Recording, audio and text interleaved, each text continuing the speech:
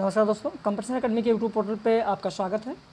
आइए, आज हम लोग साहित्य की एक झलक जो सीरीज़ चल रही है, उसमें साहित्य की एक झलक की ये पंद्रहवीं सीरीज़ है। आप लोगों को व्हाट्सएप पर पीडीएफ भेजा जा चुका है। जितने भी लोगों ने साहित्य की एक झलक लिखकर व्हाट्सएप किया था, उन सभी लोगों को ये पीडीएफ भेजी जा चुकी है। आज ये पंद्रहवीं सीरीज़ हो रही है। यदि आप भी हमारे चैनल पर नए हैं और अगर आपको भी पीडीएफ चाहिए, साहित्य की एक झलक की, सिर्फ़ साहित्य की एक झलक की, ध्यान रखिएगा तो आप हमारे नंबर पर व्हाट्सअप करिए, साहित्य की एक झलक लिखकर और आपको भी ये पीडीएफ मिल जाएगी, जिससे देख रहे हैं कि पूरा का पूरा वीडियो, पूरे प्रश्न हल कराए जाएँगे तो ये पूरा पीडीएफ आपको मिल जाएगा। साथ ही हमारे यहाँ निबंध इकाई से नया बैच प्रारंभ हो चुका है। यदि आप ज्वाइन करना चाहते हैं तो आप हमारे दिए गए नंबर पर व्हाट्सएप करके फ़ीस और सारी जानकारी ले सकते हैं। एक बार नंबर लिख लें, फिर हम लोग आगे बढ़ते हैं। नंबर लिख लें, जो लोग नए हैं, जो लोग नए हैं, वो नंबर ज़रूर लिख लें। इस नंबर पर आप व्हाट्सएप करेंगे। साहित्य की एक झलक लिखकर तो बगैर किसी फ़ीस के आपको यह पीडीएफ मिल जाएगा, जिस पीडीएफ से आप देख रहे हैं कि वीडियो बनाया जा रहा है। जो ये सीरीज़ आपको हल कराई जा रही है, ये आपको मिल जाएगी। यदि आप पेड बैच ज्वाइन करना चाहते हैं, जिसमें कि कंप्लीट सिलेबस का आपको पीडीएफ नोट्स, कंप्लीट सिलेबस से आपको प्रतिदिन टेस्ट सीरीज़, प्रतिदिन डिस्क्रिप्टिव वीडियो लेक्चर और प्रतिदिन लाइव कक्षा कराई जाती है। तो अगर उस बैच को, पेड बैच को आप ज्वाइन करना चाहते हैं तो आप हमारे इस दिए गए नंबर पर व्हाट्सएप करके फ़ीस और सारी जानकारी ले सकते हैं। नया बैच प्रारंभ है इस समय। तो चलिए, शुरू करते हैं आज के सीरीज़ की के प्रश्नों को देखते हैं। निबंध लेखक जिधर चलता है, उधर अपनी संपूर्ण मानसिक सत्ता अर्थात बुद्धि और भावात्मक हृदय दोनों को साथ लिए रहता है। उपरोक्त कथन किसका है? आपका उत्तर हो जाएगा ए, आचार्य रामचंद्र शुक्ल। वैसे आचार्य रामचंद्र शुक्ल आपके पाठ्यक्रम में है। इनका चिंतामणि आप लोगों ने पढ़ा होगा। चिंतामणि भाग एक, भाग दो, भाग तीन, भाग चार। और अक्सर आप देखेंगे कि इनके संपादक का नाम पूछा जाता है। जैसे भाग एक के संपादक स्वयं रामचंद्र शुक्ल हैं, भाग दो के संपादक विश्वनाथ प्रसाद मिश्र हैं, भाग तीन के संपादक नामोर सिंह हैं, भाग चार के संपादक कुसुम चतुर्वेदी हैं और ओम प्रकाश सिंह हैं। भाग एक में कुल संग्रहित निबंधों की संख्या सत्रह है। चिंतामणि भाग दो में कुल तीन निबंध संग्रहित हैं। चिंतामणि भाग तीन में इक्कीस निबंध संग्रहित हैं। चिंतामणि भाग चार में सैंतालीस निबंध संग्रहित हैं। तो इस तरीके से कभी कभी ऐसे भी प्रश्न पूछा जाता है। चिंतामणि भाग एक से आपके पाठ्यक्रम में निबंध कविता क्या है? कविता क्या है? निबंध जो है वो चिंतामणि भाग एक में संकलित है। इन सत्रह निबंध में से प्रारंभ के जो दस निबंध आप देखेंगे, वो मनोविकारों पर आधारित हैं। और अंतिम जो सात निबंध हैं, वो साहित्य से संबंधित हैं। अब कुछ लोग सोच रहे होंगे कि, सर, एक प्रश्न कराए हैं, उत्तर आगे नहीं बता रहे हैं और विस्तृत बहुत ज़्यादा चल रहे हैं। कई लोग कमेंट करते हैं, सर, एक ही प्रश्न पे बहुत ज़्यादा हो जाता है। भाई देखिए, ये आप ही लोगों के फ़ायदे के लिए है। प्रश्न एक था, लेकिन अब चूँकि आचार्य रामचंद्र शुक्ल की बात हो रही है, आप देख रहे हैं कितने तथ्य आपके तैयार होते जा रहे हैं। अगर आपको याद है तो उसका रिवीजन हो रहा है, नहीं याद है तो आपको नई चीज़ें पता चल रही हैं। तो चिंतामणि भाग एक में जो सत्रह निबंध हैं, प्रारंभ के दस निबंध।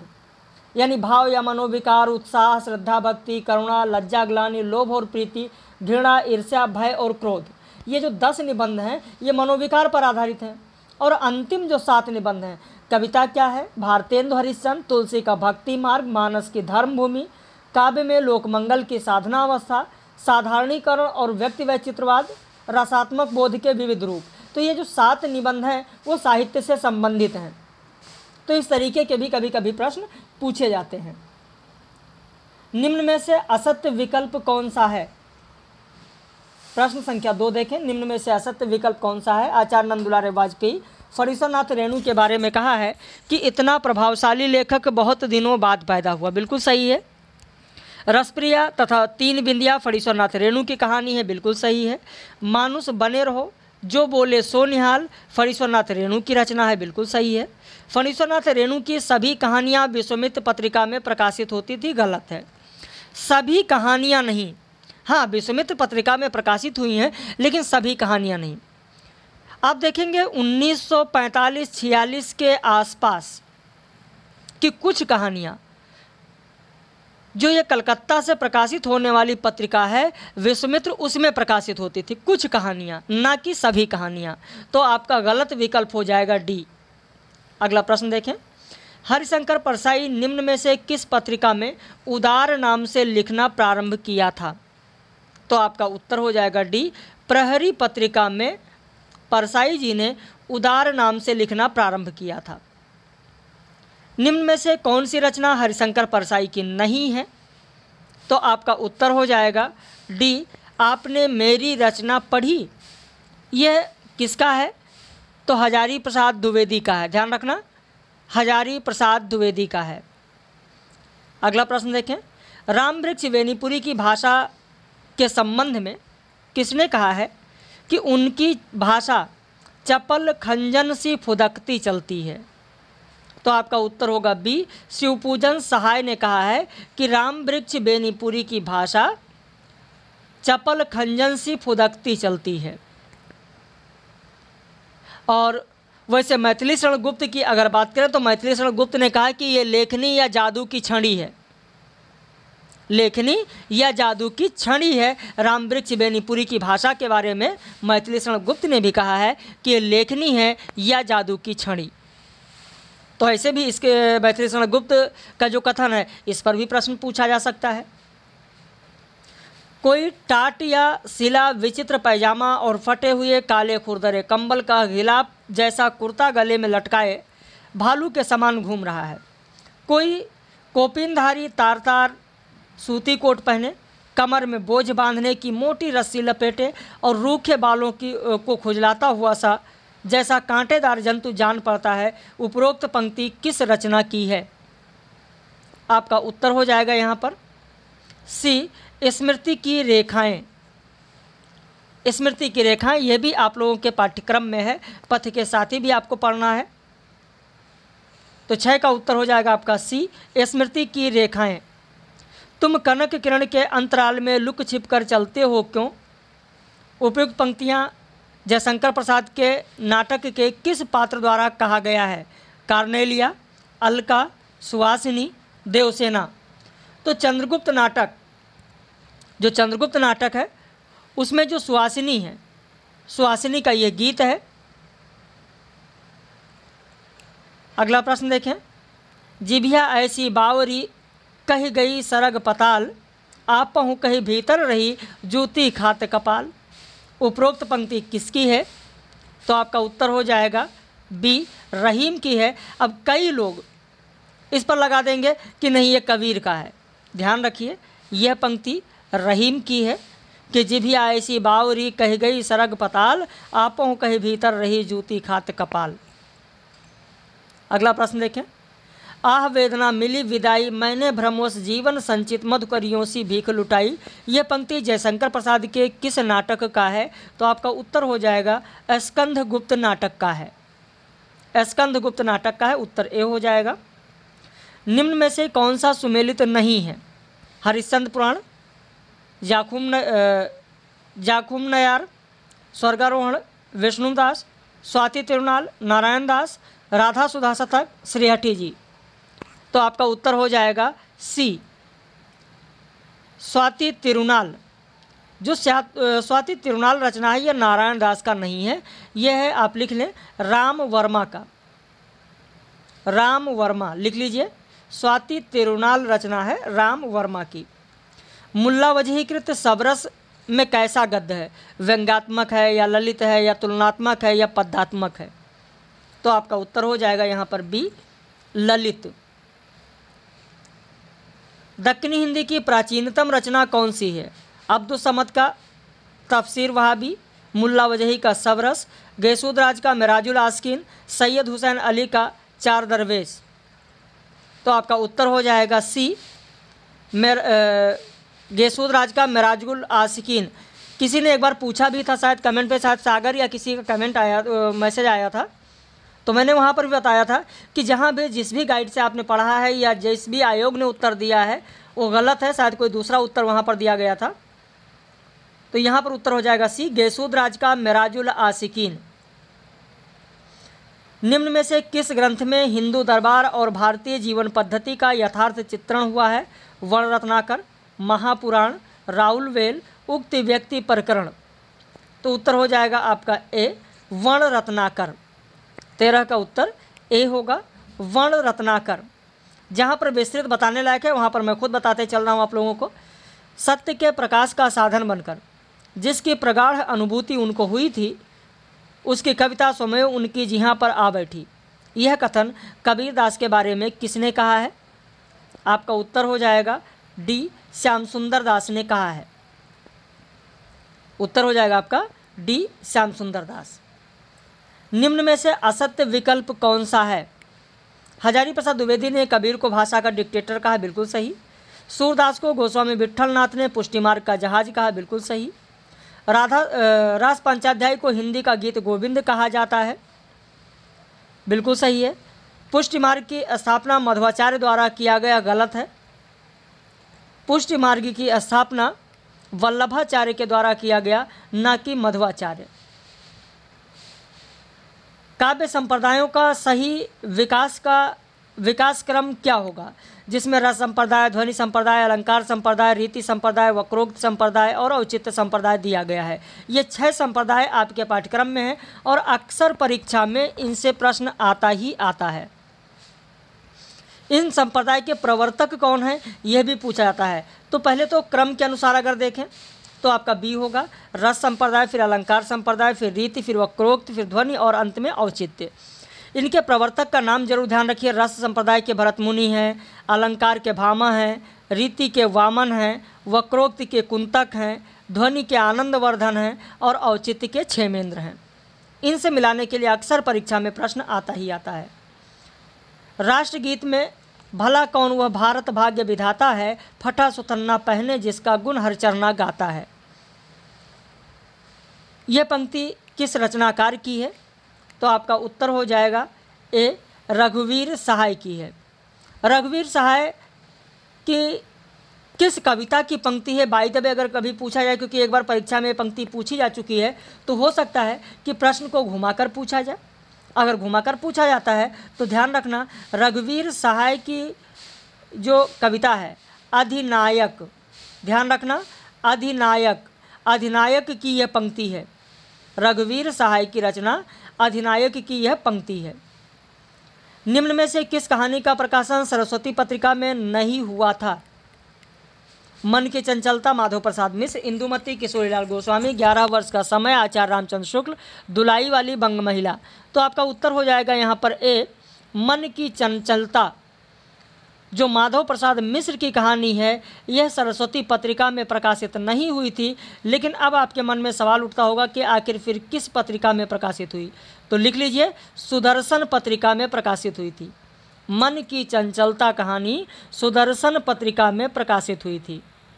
निम्न में से असत्य विकल्प कौन सा है? सुदर्शन का वास्तविक नाम पंडित बद्रीनाथ भट्ट था। हार की जीत सुदर्शन की पहली कहानी थी। हार की जीत उर्दू पत्रिका हज़ार दास्ता में छपी थी। अठन्नी का चोर, सच का सौदा, साइकिल की सवारी, सुदर्शन की रचना है। तो यहाँ पर उत्तर हो जाएगा आपका सी। इनमें से गलत कौन सा होगा तो सी गलत होगा। क्योंकि हार की जीत का प्रकाशन 1920 ईस्वी में हुआ है। 1920 ईस्वी में किस पत्रिका में? तो सरस्वती पत्रिका में। हार की जीत सरस्वती पत्रिका में 1920 ईस्वी में प्रकाशित हुआ।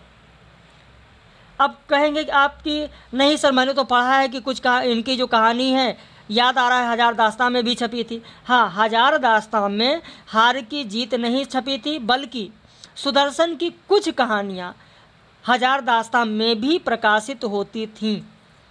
अगर आपने पढ़ा होगा तो और भी कहानियाँ हैं इनकी, जो हज़ार हज़ार दास्तान में प्रकाशित होती थी। लेकिन हार की जीत कहानी 1920 में सरस्वती पत्रिका में प्रकाशित हुई थी। निम्न में से कहानी और कहानीकार का कौन सा बेमेल जोड़ा है? या कौन सा असत्य है? वारेन हेस्टिंग का शान, उदय प्रकाश, कौए और काला पानी, निर्मल वर्मा, तेरिया चरित्र, शिवमूर्ति, बेटों वाली विधवा गुलाब राय। आपका उत्तर हो जाएगा डी, बेटों वाली विधवा गुलाब राय का नहीं, प्रेमचंद का है। निम्न में से कौन सा नाटक भारतेंदु का नहीं है? नील देवी प्रेम जोगनी रणधीर प्रेम मोहनी भारत दुर्दशा तो आपका उत्तर हो जाएगा सी, रणधीर प्रेम मोहनी श्रीनिवास दास का है। सी हो जाएगा रणधीर प्रेम मोहनी आपका उत्तर यहाँ पर होगा। अगला प्रश्न देखें। निम्न में से असत्य विकल्प कौन सा है? जयशंकर प्रसाद का इरावती उपन्यास अधूरा है। इरावती उपन्यास गुप्तकालीन ऐतिहासिक पृष्ठभूमि पर लिखा गया है गलत। इरावती उपन्यास गुप्तकालीन नहीं, बल्कि शुंगकालीन ऐतिहासिक पृष्ठभूमि पर लिखा गया है। इरावती उपन्यास पर बौद्ध धर्म का प्रभाव अधिक है, बिल्कुल सही है। इरावती उपन्यास का प्रकाशन जयशंकर प्रसाद की मृत्यु के बाद 1940 में हुआ, यह भी सही है। तो इसमें से आपका असत्य विकल्प होगा बी। निम्न में से असत्य विकल्प कौन सा होगा? प्रेमचंद का अधूरा उपन्यास मंगलसूत्र है। पुष्पा मंगलसूत्र उपन्यास की पात्र हैं। रामविलास शर्मा सेवा सदन की मुख्य समस्या भारतीय नारी की पराधीनता को मानते हैं। अमृत राय के अनुसार प्रेमचंद की रचना कायाकल्प अनातोले फ्रांस के थायस का भारतीय परिवेश में रूपांतरण है। डी होगा आपका। डी गलत है। असत्य पूछा गया है, क्योंकि कायाकल्प यहाँ पर जो दिया गया, यह गलत है। अहंकार, अमृत राय के अनुसार प्रेमचंद की जो रचना है, अहंकार अहंकार अनातोले फ्रांस के थायस का भारतीय परिवेश में रूपांतर है। तो आपका उत्तर हो जाएगा यहाँ पर डी। निम्न में से असत्य विकल्प कौन सा है? हंस पत्रिका छायावाद के समर्थक थी, सुधा पत्रिका छायावाद की विरोधी थी, प्रकृति के अनुसार प्रकृति के सुकुमार कवि एवं हिंदी साहित्य के गौरव पंत का कथन है कि छायावादी कवियों को आदृश, प्रियतम कोई मध्ययुगीन ब्रह्म या ऐसा रहस्यमयी शक्ति की धारणा नहीं है, नहीं थी जो विश्व से विचित अपने में ही स्थित रहे। हेलो, अभी क्लास के बाद बात करते हैं आप। छायावाद क्या है? लेख नामोर सिंह का है। तो यहाँ पर इनमें से आपका गलत विकल्प कौन सा होगा? आपका विकल्प होगा डी, छायावाद क्या है? मुकुटधर पांडे का है ना कि नामोर सिंह का? मुकुटधर पांडे का है, ध्यान रखिएगा। निम्न में से असत्य विकल्प कौन सा है? पेपर वेट कहानी के लेखक गिरि, गिरिराज किशोर हैं। पेपर वेट नाटक के लेखक रमेश उपाध्याय हैं। कृष्णार्जुन युद्ध नाटक के लेखक लक्ष्मी नारायण मिश्र हैं। बस्ती खिले गुलाब की केदारनाथ अग्रवाल की रचना है। तो यहाँ पर आपका उत्तर हो जाएगा सी। कृष्णार्जुन युद्ध नाटक जो है, वो माखन लाल चतुर्वेदी का है लक्ष्मी नारायण मिश्र का नहीं है। किसका है, ज़रूर ध्यान रखिएगा। निम्न में से असत्य विकल्प कौन सा है? देवताओं की छाया में चरवाहे उपेंद्रनाथ अस की रचना है। पंतकृत रजत शिखर प्रहसन विधा की रचना है। सुबह के घंटे नरेश मेहता की नाट्य कृति है। प्रेम की वेदी नाटक के नाटककार प्रेमचंद हैं। तो आपका उत्तर यहाँ पर हो जाएगा बी, जो यहाँ पर रजत शिखर दिया गया है।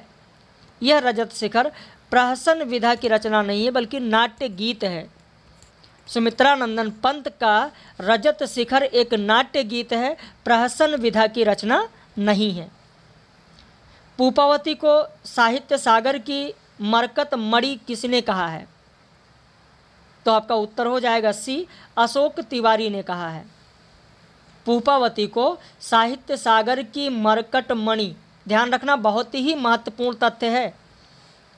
और इतनी आसानी से हर जगह जो आप यहाँ तथ्य देख रहे हैं, हर जगह आपको एक ही साथ उपलब्ध नहीं हो पाएँगे। इसलिए कॉपी पेन लेकर बैठिए, जो चीज़ नहीं आपको पता है, वो ज़रूर लिखते चलिए। और जो हमारे व्हाट्सएप पर लोग हैं, उनको तो पीडीएफ भेज दिया गया है। उससे वो पढ़ भी लेंगे, फिर उत्तर यहाँ से कर लेंगे। यदि आप भी नए हैं, चैनल पर देख रहे हैं और आपको भी साहित्य की एक झलक का पीडीएफ चाहिए तो बगैर किसी फ़ीस के आप हमारे व्हाट्सएप पर साहित्य की एक झलक लिख कर भेजेंगे तो ये पीडीएफ आपको उपलब्ध करा दी जाएगी। निम्न में से कौन सी रचना धर्मदास की है? आपका उत्तर हो जाएगा बी उग्र गीता उग्र गीता धर्मदास की रचना है। बाकी भक्तारण भवतारण आगाध मंगल, अनुराग सागर, ये सब कबीर पर है। निम्न में से असत्य विकल्प कौन सा है? प्रेमचंद को भाषा का जादूगर गजानन माधव मुक्तिबोध ने कहा गलत है। जैनेन्द्र ने कहा है तो पहला ही गलत होगा। बिंब का जादूगर माखनलाल चतुर्वेदी को कहा जाता है, सही है। रूप सिंह चंदेल ने कमलेश्वर को शब्दों का जादूगर कहा, सही है। राम वृक्ष बेनीपुरी बेनीपुरी को कलम का जादूगर कहा जाता है। देखिए राम वृक्ष बेनीपुरी ने कहा है। इसको सही कर लीजिएगा। राम वृक्ष बेनीपुरी ने कहा है। कलम का जादूगर, यहाँ ध्यान रखना है आपको। तो इसको आप हटा ही दीजिए, अगर तो भी कोई दिक्कत नहीं है। तो आपका उत्तर यहाँ पर जो असत्य विकल्प होगा, दो असत्य हो रहे हैं। पहला भी असत्य हो रहा है, दूसरा भी असत्य चौथा भी असत्य हो रहा है। ध्यान रखिएगा। पहला और चौथा, ये दोनों असत्य हो रहे हैं। तो चाहे हटा दीजिए, चाहे दोनों, सही कर लीजिएगा। सूरदास जब अपने विषय का वर्णन शुरू करते हैं तो मानो अलंकार शास्त्र हाथ जोड़कर उनके पीछे दौड़ा करता है। उपमाओं की बाढ़ आ जाती है, रूपकों की वर्षा होने लगती है। कथन किसका होगा? तो हजारी प्रसाद द्विवेदी का है। उत्तर हो जाएगा आपका बी हजारी प्रसाद द्विवेदी। निम्न में से असत्य विकल्प कौन सा है? उनका भ्रमर गीत विरह का उमड़ता हुआ महासमुद्र है। रामचंद्र शुक्ल का कथन है। सही है। संत कवियों में कबीर के बाद के कवि वैसे ही दिखाई पड़ते हैं, जैसे चंद्रोदय के बाद नक्षत्र मालिकाएँ बच्चन सिंह का कथन बिल्कुल सही। कर्मवीर पत्र को राष्ट्रीय जागरण का अग्रदूत माना जाता है, ये भी सही है। एक भारतीय आत्मा माखनलाल चतुर्वेदी के संपादन में कर्मवीर का प्रकाशन इलाहाबाद से हुआ गलत है। जबलपुर से हुआ था, ना कि इलाहाबाद से। जबलपुर से हुआ था, इलाहाबाद से नहीं। बनन में, बागन में, बगरो बसंत है। पद्माकर की इस पंक्ति का अर्थ शब्द की दृष्टि से कौन सा शक्ति इसमें है? अविधा, लक्षणा, व्यंजना या इनमें से कोई नहीं? तो आपका उत्तर हो जाएगा बी, लक्षणा शब्द शक्ति इसमें आपको मिलेगा। आधुनिक हिंदी साहित्य के इतिहास में राजा द्वय नाम से कौन रचनाकार हैं? राजा द्वय नाम से कौन रचनाकार हैं? तो आपका उत्तर हो जाएगा राजा लक्ष्मण सिंह और राजा शिव प्रसाद सितारे हिंद। तैंतीस का उत्तर आपका सी हो जाएगा राजा लक्ष्मण सिंह और राजा शिव प्रसाद सितारे हिंद। निम्न में से असत्य विकल्प कौन सा है? उसने कहा था को हिंदी कहानी का माइलस्टोन कहा जाता है। गुलेरी जी ने अपने जीवन में मात्र पाँच कहानियाँ लिखी, गलत है। गुलेरी जी ने अपने जीवन में मात्र तीन कहानियाँ लिखी हैं, ना कि पाँच। बुद्धू का काटा सुखमय जीवन गुलेरी की कहानी है। उसने कहा था कि पृष्ठभूमि प्रथम महायुद्ध है। बिल्कुल सही है। तो इन्होंने जो तीन कहानियाँ लिखी हैं, वो तीन ये हैं। उसने कहा था, बुद्धू का कांटा और सुखमय जीवन। निम्न में से कौन सी रचना दुष्यंत कुमार की नहीं है? तो आपका उत्तर हो जाएगा ए, युगधारा दुष्यंत कुमार की नहीं है, ये नागार्जुन की है। बाकी साय में धूप, सूर्य का स्वागत, जलते हुए वन का वसंत, ये सब दुष्यंत कुमार की है। कौन सी नहीं है तो युगधारा नहीं है, नागार्जुन की है।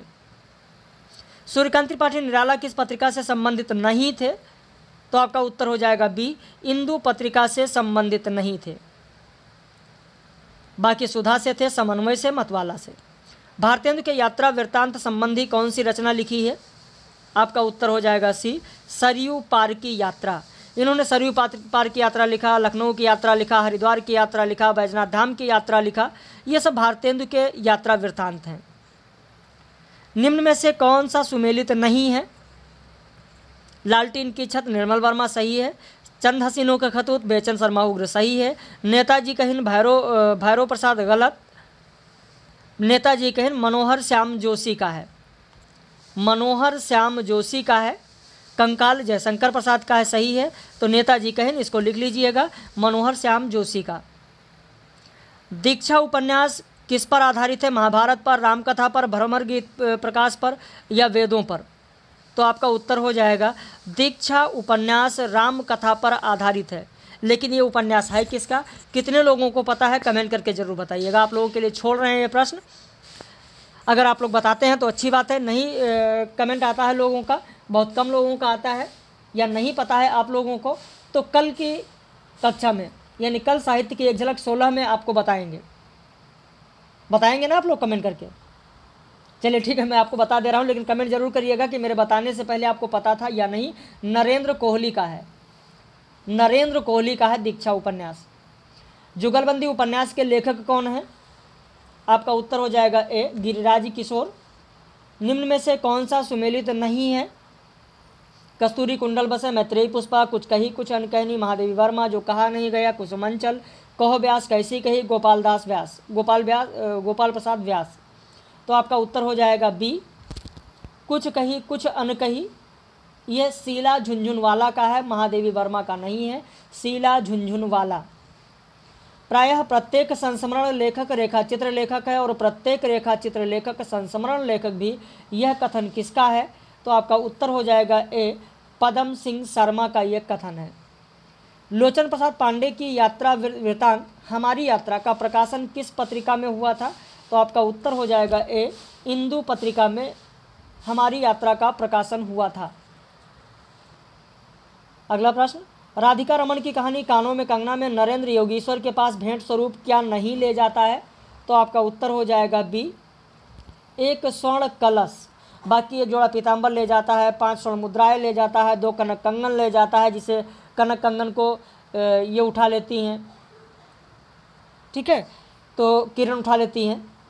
तो ये एक स्वर्ण कलश नहीं ले जाता यही पूछा गया है, क्या नहीं ले जाता है? जल्दबाजी करेंगे तो प्रश्न गलत हो जाएगा, ध्यान रखिएगा। तुम नहीं जानती चंदा, कर्ज कोढ़ का रोग होता है, एक बार लगने से तन तो गलता ही है, मन भी रोगी हो जाता है। यह कथन किस कहानी का है? तो आपका उत्तर हो जाएगा डी, राजा निर्वंशिया का है। नाखून क्यों बढ़ते हैं? इसके बारे में असत्य विकल्प कौन सा है? यह कल्पलता निबंध संग्रह में संकलित है, बिल्कुल सही है। इसमें प्राचीनता और नवीनता का समन्वय है, बिल्कुल सही है। नाखून का बढ़ना मनुष्यता का प्रतीक है, गलत है। पशुता का प्रतीक है, मनुष्यता का नहीं। यह विचार प्रधान व्यक्तिनिष्ठ निबंध है, बिल्कुल सही है। तो इसमें गलत कौन सा होगा? सी गलत होगा, क्योंकि नाखून का बढ़ना पशुता का प्रतीक है, ना कि मनुष्यता का। तीन मेढक एक के ऊपर एक बैठे थे। ऊपर वाले ने कहा, जौक शौक, बीच वाला बोला, गम सम सबसे नीचे वाला पुकारा गए हम। यह कथन किस निबंध का है? भारत वर्षोन्नति कैसे हो सकती है? शिव शंभू के चिट्ठे, उत्तरा फाल्गुनी के आसपास कविता क्या है? तो आपका उत्तर हो जाएगा ए भारत वर्षोन्नति कैसे हो सकती है? प्रश्न कैसे लग रहा है? कमेंट करके ज़रूर बताइएगा। यदि आप नए हैं तो चैनल को ज़रूर सब्सक्राइब कर लीजिएगा और वीडियो को ज़्यादा से ज़्यादा आप लोग शेयर करें जो वीडियो पब्लिश है, ताकि और भी लोगों को इसका लाभ मिल सके। और निबंध की इकाई से इस समय नया बैच चल रहा है। निबंध होगा, निबंध के बाद अन्य विधा होगी, उसके बाद में फिर इकाई एक आ जाएँगे हम लोग। भाषा होगा, फिर हिंदी साहित्य का इतिहास होगा। इसी क्रम में हम लोग आगे बढ़ते हैं। साइक्लिक बैच हमारे यहाँ चलता है। इससे पहले आपका कितना छूट गया, उससे मतलब नहीं है। आप जहाँ से जुड़ेंगे, वहीं से आपको नया बैच होगा। जिस इकाई से आप जुड़ेंगे। शेड्यूल ये होता है कि मॉर्निंग में आपको 10 बजे पीडीएफ नोट्स दिया जाता है। प्रतिदिन 10 बजे टेस्ट सीरीज़ दिया जाता है। प्रतिदिन दोपहर में ढाई बजे डिस्क्रिप्टिव वीडियो लेक्चर दिया जाता है। टाइम का बाउंडेशन नहीं है। ढाई बजे जो लेक्चर दिया जाता है, आप कभी भी किसी भी वक्त देख सकते हैं और जब तक आप उसे अपने पास सेव करके रख सकते हैं, तब तक आप देखिए अनलिमिटेड समय के लिए वो होता है। और फिर उसी टॉपिक पर आधारित रात में नौ बजे लाइव कराया जाता है। मान लिया किसी दिन आप लाइव में नहीं हैं तो वीडियो का लिंक आपके व्हाट्सएप पर रहेगा, आप बाद में भी देख सकते हैं। तो इन सारी चीज़ों की जानकारी के लिए आप हमारे दिए गए नंबर पर व्हाट्सएप कर सकते हैं फ़ीस और सारी जानकारी ले सकते हैं। एक बार नंबर फिर बता दें, फिर बाकी के प्रश्न मैं आपको करा दे रहा हूँ। नंबर लिख लीजिए। अस्सी, बावन, लिखिए। अस्सी, बावन, अट्ठावन, चार, डबल ज़ीरो, चार। इस नंबर पर आप व्हाट्सअप करके फ़ीस और सारी जानकारी ले सकते हैं। यदि आप साहित्य की एक झलक, जो सीरीज़ आप देख रहे हैं, यह पीडीएफ चाहिए तो आप साहित्य की एक झलक लिखकर इसी नंबर पर व्हाट्सअप करेंगे तो आपको साहित्य की एक झलक की पीडीएफ भी मिल जाएगी। उसके लिए कोई चार्ज नहीं लगेगा। आषाढ़ का एक दिन नाटक में निम्न कथन किसका है? मैं आपका कष्ट समझ रही हूँ। जो भी सहायता मुझसे बन पड़ेगी, अवश्य करूँगी। यह कथन किसका है? तो आपका उत्तर हो जाएगा सी, प्रियंगो मंजरी का है। आगरा बाज़ार नाटक में कौन अपना माल बेचने के लिए नज़ीर अकबराबादी की नज़मों की मदद लेता है?